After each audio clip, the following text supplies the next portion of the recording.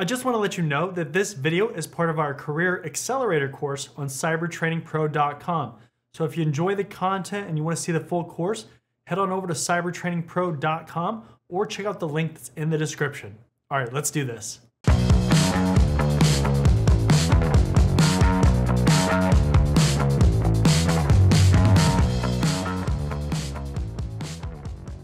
Common mistakes that new and existing cybersecurity professionals make when looking at jobs or thinking about skills to pursue is that they focus way more on what they personally want than what an employer wants. Why is this a mistake? Well, for starters, the employer has to feel comfortable with what you bring to the table to actually hire you.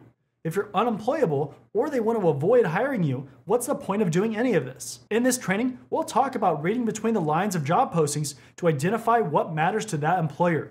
The better that you can do this, the higher your success rate will be. We're going to start by discussing the purpose of job postings, then we'll move on to the problem that exists with them. From there, we'll discuss job tasks and why they matter. Then we'll discuss how experience, education, and certifications fit into the equation. Finally, we'll wrap things up by talking about winning in this career field.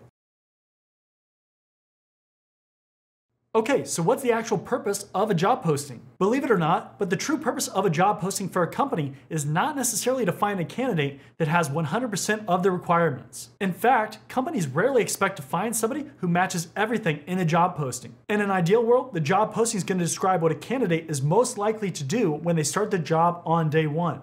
Depending on the hiring life cycle, the job could change when you're onboarded or shortly after that if it takes a while for you to start. In reality, companies look at all their needs related to hiring somebody, and some of this stuff gets summarized in the job posting. This can be why you see specific job postings that seem like dream sheets full of requirements. If a new hire can meet at least 60 to 70% of the requirements, that's considered a pretty decent hire. The more requirements that are met, the better, but that also increases the price that has to be paid to that employee. I'm sure we could all relate, but there's absolutely problems with job postings. Job postings are never perfect, and certainly they can have their flaws. If you haven't noticed, we've already hinted at some typical flaws. For starters, companies tend to list too many requirements, such as tools and technologies, compared to what's required. This results in the next big issue, which is the job posting doesn't accurately reflect the job that's being filled. If a job posting mentions firewalls and Cisco, it's reasonable to assume that a candidate is going to deal with Cisco firewalls, but that's not always the case. We also might see unrealistic expectations in areas like certifications. A typical example of this is people getting fixated on having a CISSP as a requirement for a junior junior or entry level job. I'm sure there's plenty of people out there that can relate to that. The other major problem is that the posting has vague or ambiguous information that makes it difficult to visualize what that job actually involves. Let's shift gears and discuss job tasks listed in job postings versus the reality of what that job actually requires. The job responsibilities described in a job posting can tell a lot about that specific role. One of the first things I look at when reading through a job posting is where the main focus tends to be. For example, do the job responsibilities frequently mention technical skills with actions like configuring or administering? Or does the job posting focus on the non technical aspects like communication with other employees, project management, or similar activities? Another important indicator is the level of detail that's provided. Not only does that indicate the proper understanding of a role many times, but it also reveals more about where you're going to focus. How do you feel about the experience requirements listed in job postings? I'm curious to hear about your thoughts on this, but we know that companies don't always get it right. Experience requirements in job postings can be hit or miss when revealing more information about a specific job. I'll be honest, some companies assume that if you have a certain amount of years of experience, you'll know certain things or be capable of something. Many of us know that years of experience don't always equate to knowledge or relevant experience, but that's just how it is. Years of experience and overall experience are typically optional. That said, companies use years of experience to determine salary ranges, which could place you at a certain job level. For example, entry level candidates usually have 0 to 3 years of experience, but a mid level job might be more like 5 years of experience. You also might see within the job description that it's a different level of job than indicated by the years of experience listed. As you better understand the different levels of jobs through experience, this is going to become more obvious. Let's take a second to talk about Cyber Training Pro. Are you tired of overpaying for cybersecurity training? Are you interested in training from industry professionals? Are you looking for cybersecurity career services? If you answered yes to any of those questions, then cybertrainingpro.com is the perfect platform for you. At Cybertraining Pro, we're a one stop shop for all your cybersecurity needs. We can train you for industry certifications or just improve your overall knowledge and skills in a certain area. Unlike other platforms, we don't stop there. We can also coach you throughout your career, practice your interview skills, or create a high performing resume with our career services. CyberTrainingPro.com isn't just another training platform. Students get exclusive access to our private community where we go beyond training courses to provide additional content, tips and tricks, and engagement with both other students and staff. Look, by the year 2025, there could be as many as 3.5 million job openings in cybersecurity. With so much opportunity, why not maximize your career potential with a platform that cares about your success? Come join us at cybertrainingpro.com and start building your future today. All right, let's get back to the content. So, how does education fit into the equation? Education is the next area that gives people problems when looking at job postings and deciding where to apply.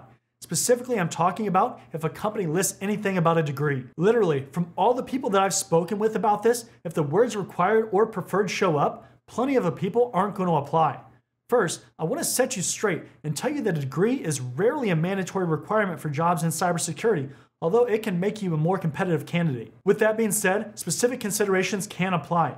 One consideration is that specific industries, such as those performing research, government, military, education, and some consulting companies might have firm requirements for degrees. We aren't going to dive into the specifics as to why that is, but you need to understand that difference exists. The second consideration is the job level because higher level jobs like management or some senior level jobs are going to either require or highly prefer a degree. Are you aware of the certifications that we have in this career field? Next to education, certifications are another area that people struggle to look past in job postings. One common complaint that I see a lot is that entry level jobs require a CISSP certification. Although that complaint in today's job market usually results from a misunderstanding when reading the job posting, it certainly is one that we've seen in the past. Employers seek specific skills or knowledge like education, and certifications are an easy way to identify your level. Certifications aren't typically a firm requirement on their own, unless, for example, you work in the US government, which does have specific certification requirements based on the job. You can frequently substitute listed certifications with similar options, assuming that they're known in the industry. You can also show your knowledge and skills by posting videos, written tutorials, participating in bug bounty programs, or capture the flag exercises and many other ways. Not all these ways are created equal and might not satisfy the requirement entirely, but they can absolutely help. Again, certifications like education help make you a more competitive candidate and it makes it easier for an employer to determine your skill set. So how do we tie everything together and ultimately win? That's the real question. Look, it's nearly impossible to predict or to get a 100% success rate when you're looking for jobs. There will always be that employer who decides to go off the rails and do things that don't make sense, but you can't control that. At the end of the day, if you can identify what's important to the employer, your success rate will be significantly higher, and that's a fact. It may not be a perfect job posting, the job might change, but again, control what you can control, leading you to more wins. That I can guarantee. Question of the day How well do your skills and knowledge match what employers are asking for in job postings? Let me know down in the comment section below. Take this knowledge, identify what's important, and exploit it to land the opportunities that you want. As always, make sure to leave a like, comment, and subscribe. Check out the description for more resources related to this video, and I'll see you next time.